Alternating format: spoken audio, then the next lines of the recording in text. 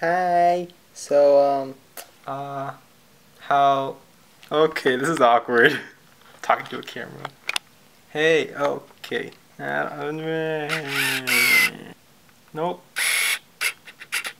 Yay! So this was a song I wrote, and um, it talks about how when we're in our tough times, that um, there's always hope.